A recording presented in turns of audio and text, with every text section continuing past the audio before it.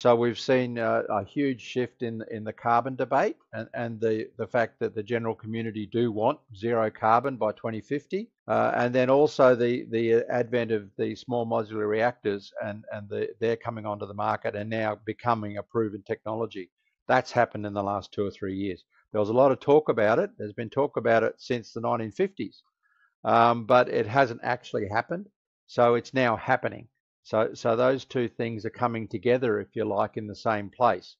Uh, and and the public debate has sort of happened, and, and it's it's reached the point where one of the major political parties has picked it up, or the major coalition have picked it up. So that so that's a big change.